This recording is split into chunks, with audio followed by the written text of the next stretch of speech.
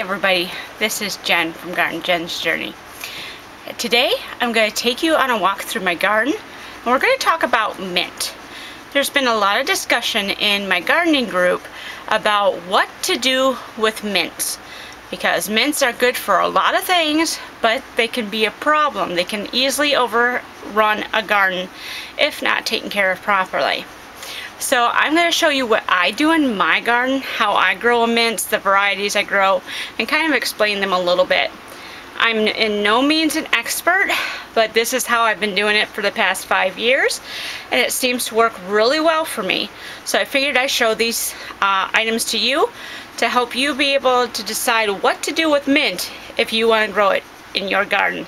So let's head out to mine and take you on a tour. So this is my container bed area. Um, this is also where my mint garden is. Um, a lot of people are afraid to put mints in the ground, especially near their main gardens, uh, because mints can be invasive, um, just because they, they spread, and if you don't get the uh, whole root out, um, they can still grow uh, new shoots later on. Um, so I have three types of mints here in my container bed area. Um, before we had the containers here, this actually um, was my mint garden, specifically where uh, I put my mints so they can just grow here, be happy, and uh, I really don't have to worry about them taking over the main garden. Um, but then we started adding the container beds in here as well. Um, and since they're in containers up off the ground, I don't have to worry about the mints overtaking them. So it works.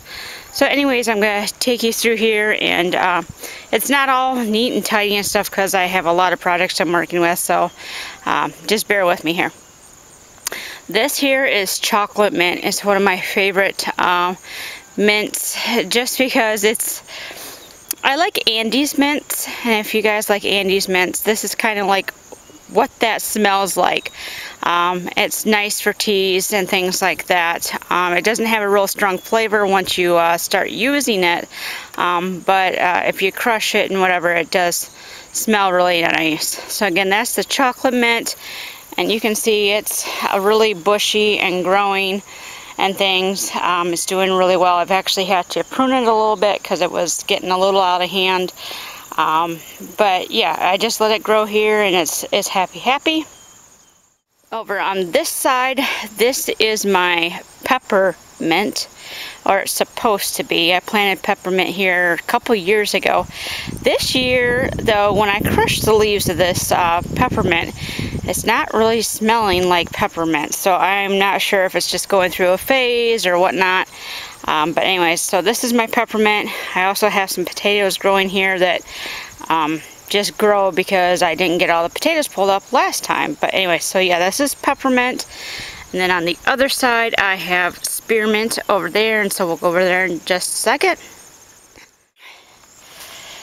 Okay, so this is spearmint, um, and it's taken a couple years for this to really get established. Uh, spearmint can be a little finicky sometimes, but um, yeah, so this is my spearmint. I really, really like this one. It's great for uh, teas. Um, it's great for some uh, different cuisines. Um, we use spearmint instead of peppermint, uh, but you have to kind of research, make sure you're using the right mint. Um, but yeah, and I just uh, pruned this one a little bit and uh, maintained it because it was getting kind of out of hand. It grew over here into where my sunflowers and stuff I usually plant. So um, I just pruned it back, thinned it back, and uh, what I do for it is very, very simple.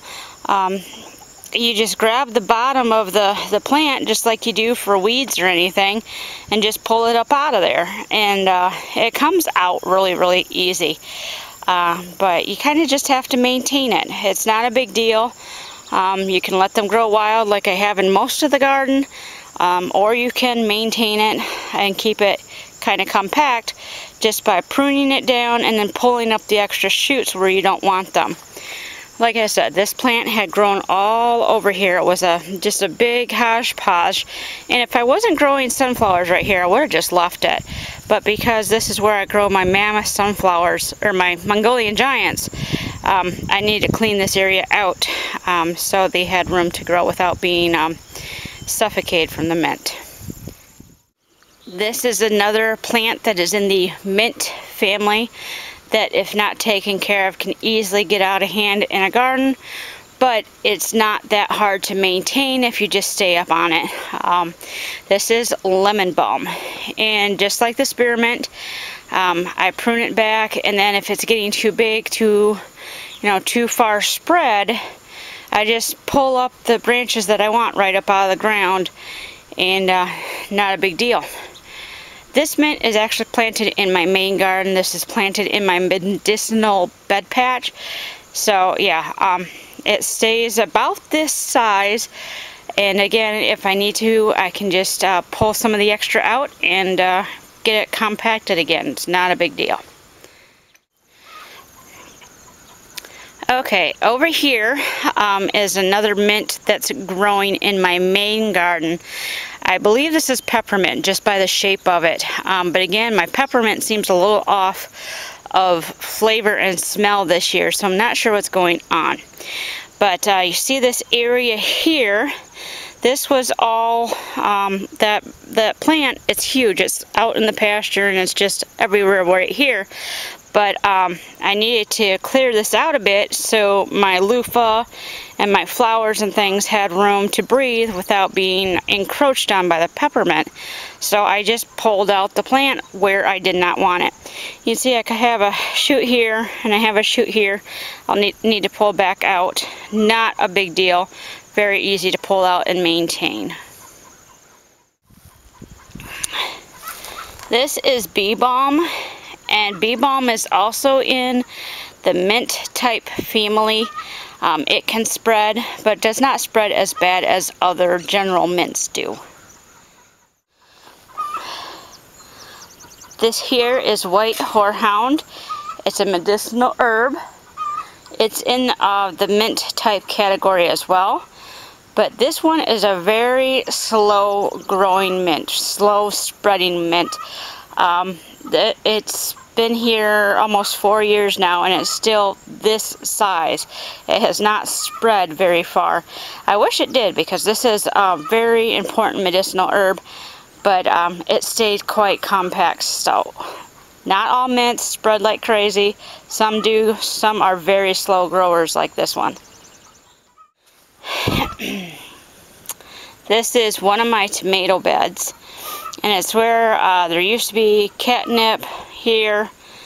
And um, so it comes back uh, this is uh, we had catnip here and then we moved it a year ago or two years ago sorry. And so last year there was nothing here as far as mints but uh, now we got cat mint popping up again. There you can see a whole bunch of little sprouts of catnip right there and yeah it's it's just about everywhere in this bed. Um, but again it's very easy to pull out especially at that stage. It's very young. So it's very easy to just pull out and dispose of. It's not a big deal. Um, it's just like weeding the rest of your garden. You know you gotta get rid of these weeds. So you just pull them out. Not a big deal. Um, so there's a bigger sprout there. Um, if my cats don't get to it and eat it first. So that's what the mints look like in my garden and how I deal with them. Um, I use them for all sorts of stuff. Um, I'm heavily into herbology, so I use it for a lot of medicinal things. Um, teas, they're nice in a uh, cool iced tea uh, for the summer. Um, they're good for potpourri. Um, you know, mints are just a wonderful thing to have around. Um, don't be scared of them. That is my biggest thing. Don't be scared of growing mints um, in the ground. Uh, growing mints in a pot um, is okay. Um, I'll take you to one that's in a pot right now, but they easily outgrow a pot, and I'll show you that in just a second. Okay. okay, so right next to my lemon balm, I have a pot of catnip. Um, I had saved this catnip from the cats, especially this one. Um, they had eaten it down to almost completely nothing and almost killed it off. And I use catnip, uh, or catnip for different medicinal purposes too. It's a very good plant, so I needed to save it. so I had put it in this pot when it was just a little seedling, um, and it took off and it grew. But as you can see right now, it's not doing very good. It's, it's very poor shape right now. And that's because it's actually outgrown this pot in less than six months. Um, yeah, because it's almost August. And I think I put it in the pot in April or May. So just a, a little seedling um, quickly grew and outgrew this pot. So, um, and this is a nice, I think this is a five gallon pot. So um, that's where I caution people who are worried about planting mints in the ground and then they put them in these size pots. It doesn't work. Um, mints get easily root bound and uh, there's just not enough room. What I've done before, because uh, I have planted in ground, and you can see the uh, my other cat's going right after it, um, is I planted them in the 25 gallon Rubbermaid tubs. And that worked uh, for a little while. It lasted me about two years before they got overgrown.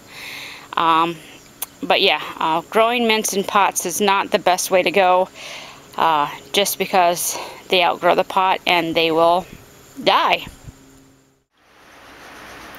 Okay, so now that you've seen my garden and how I deal with the different mint varieties that I grow, I hope that you are able to make a decision on how to plan to grow mint in your garden.